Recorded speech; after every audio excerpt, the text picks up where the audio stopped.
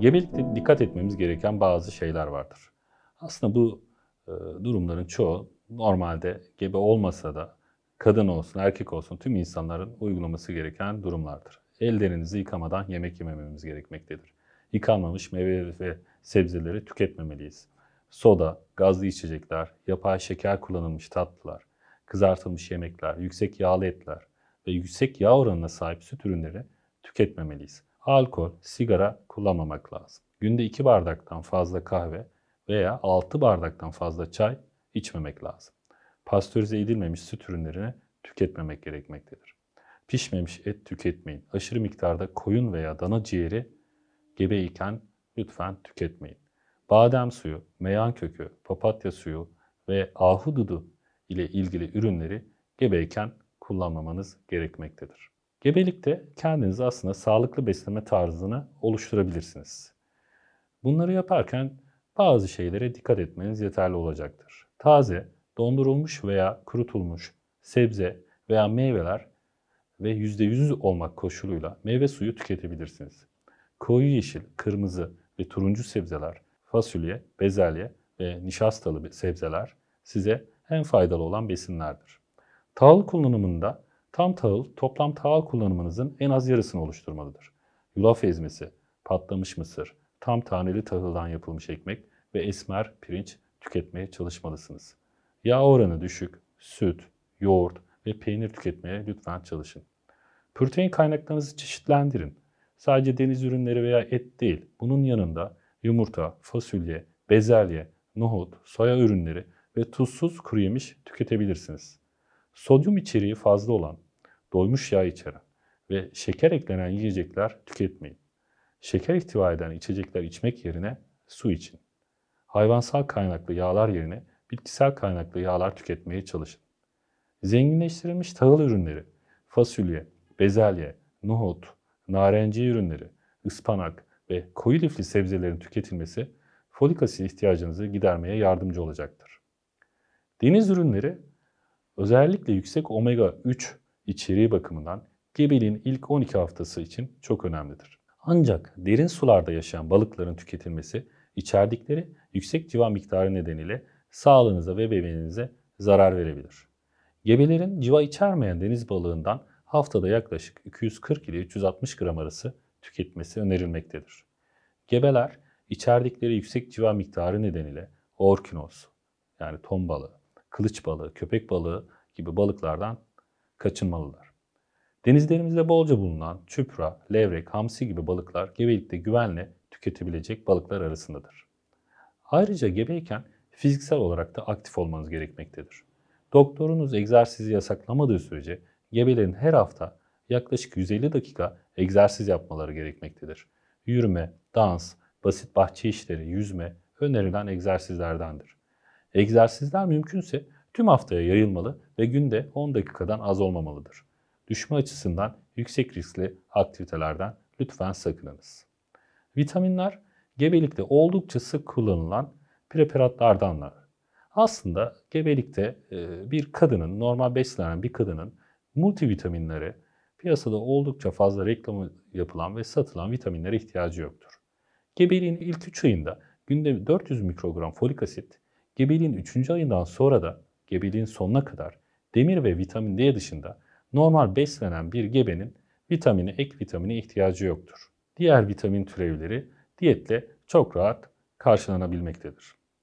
Gebeyken yapay tatlandırıcı kullanan gebelerimiz vardır. Yapay tatlandırıcıların bebeğinize herhangi bir teratojenik etki yani kötü etkisi bulunmamaktadır ve güvenle kullanabilirsiniz. Günde 2 fincan Türk kahvesi veya 2 bardak filtre kahve veya 6 bardak çay toplam 200 e, miligram kafein içermektedir. Gebelerde yapılan araştırmalarda 200 miligramın üzerindeki kafeinin bebek üzerinde kötü etkileri vardır. Bunu düşünerekten biraz önce saydığım limitlerde kahve veya çay tüketimine dikkat etmeniz gerekmektedir. Çiğ ve pişmemiş besinler gebelikte dikkatli tüketilmelidir. Mümkünse tüketmekten kaçınılmalıdır. Gebelik boyunca yıkamadan sebze ve meyveleri yememeniz gerekmektedir. Gerekirse salata malzemelerini bir süre sirkeli suda bekletin. Pastörize edilmemiş süt ürünleri kullanmayın. Sigara ve alkol gebeyken kullanmayın. Özellikle sigara tiryakisi gebe kadınlar sigarayı bırakmakta zorluk çekiyorlarsa nikotin bandı veya nikotin sakızını gebeyken güvenle kullanabilirler. Ancak elektronik sigaralar gebelikte kesinlikle kullanılmamalıdır. Diğer e, yapılan sık yanlışlardan biri de araba kullanan gebelerin e, airbaglerini kapatmalarıdır. Özellikle e, herhangi bir kaza sırasında airbag'in e, açılıp bebeklerine zarar vereceğini düşündüklerinden gebe kadınlar bunu yapmaktadır. Ama yapılan çalışmalar göstermiş ki kesinlikle airbag e, gebe kadını travmalardan daha fazla korumaktadır. Emniyet kemeri takılmasında belli bir özelliği vardır. 20. haftadan sonra gebe kadının rahmi büyüdükçe emniyet kemerinin takması aynı çocuklarda yaptığımız gibi alt kısmı emniyet kemerinin bacaklardan, üst kısmı da rahmin üstünden geçecek şekilde yapılmalıdır. Ağız sağlığı gebelikte çok önemlidir. Diş eti enfeksiyon olan, dişinde çürüğü olan kadınlarda e, erken doğum ihtimali daha fazla görülmektedir. Özellikle gebelik öncesinde bir diş bakımı yapılmalı. Eğer çürükleriniz varsa, diş eti enfeksiyonunuz varsa gebelik öncesinde tedavi etmek erken doğum riskini azaltacaktır. Yaz dönemlerinde sivrisinek veya böcek e, ısırıklarından korunmak için e, birçok insan topikal olarak kullanılan böcek ilaçları kullanmaktadır. Gebelerde bu topikal olarak kullanılan böcek ilaçlarını güvenle kullanabilir. Yapılan araştırmalarda saç boyasının gebelik üzerine herhangi bir negatif etkisi olmadığı e, ispatlanmıştır. Ancak teorik olarak gebeliğin ikinci 3 ayından itibaren uygulanması, saçlı deriye yoğun temas etmeden tatbik edilmesi daha güvenli olacaktır. Yolculuk da gebe kadınların özellikle dikkat etmesi gereken bir durumdur. Gebelikte 2 saatten uzun süren yolculuklarda muhakkak 5-10 dakika gebe kadının mola vermesi ve yürümesi önerilmektedir. Ailesinde 40 yaş altı tromboz yani pıhtı atma hikayesi olanlarda ek olarak varis çorabı giyilmesi önerilir. Uçak yolculuğu. Birçok gebe kadın e, uçak yolculuğunun güvenli olup olmadığını öğrenmek istemektedir. Uçak yolculuğu gebeliğin 28. haftasına kadar doktor raporu olmadan 28-36. haftalar arasında doktor raporuyla güvenle yapılabilir. 36. haftadan büyük gebeliği olan kadınlar uçak yolculuğu yapamazlar. En sık sorulan e, sorulardan biri de AVM'lerde olsun, plazalarda olsun e, metal dedektörlerin gebelik üzerinde bir zararı var mı yok mu? Metal dedektörlerin geçilmesinin gebelik üzerinde negatif bir etkisi yoktur. Eğer yanlışlıkla da olsa geçtiyseniz e, lütfen bu konuda endişe etmeyin. Cinsel ilişki ve kadın orgazmı e, gebelikte herhangi bir zararı var mı? Bebeğin üzerinde negatif etkisi var mı? Orgazm sırasında e, olan rahim kasılmaları erken doğum yapar mı? Bu gibi sorular da çok sık gelmektedir. Gebeliğin başından sonuna kadar sadece tıbbi gereklilik durumlarında cinsel ilişki yasaklanmaktadır. Bu durumlarda kanama, düşük tehdidi, erken doğum gibi doktorunuzun tespit edeceği durumlardır. Bu yüzden e, gebelikte cinsel ilişki biraz önce bahsettiğim gibi ilk haftalardan doğuma yakın son haftalara kadar olabilmektedir. Uyku pozisyonu da önemli durumlardan biridir.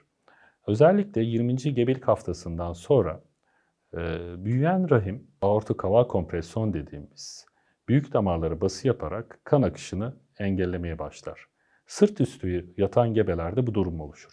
Dolayısıyla 20. gebelik haftasından sonra sol veya sağ yanınıza yatmanız bebeğinize giden kan miktarını arttırmanız için e, önemli e, davranışlardan biri olacaktır. Son yıllarda çok popüler olan bitkisel ürünler e, oldukça kontrolsüz olarak kullanılmakta.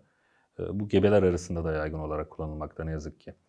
Bazı bitkisel ürünlerin gebelik üzerine zararları vardır. Örnek vermek gerekirse badem yağı, meyan kökü, papatya suyu, ahududu kullanımının gebelikte erken doğum riskini, düşük riskini ve sezaryen oranını artma ihtimali vardır. Bu yüzden kullanılmamalıdır. Gebelikte zencefil kullanımının özellikle bulantı kusmayı azaltıcı etkisi vardır. Gebelikte güvenle kullanılabilir.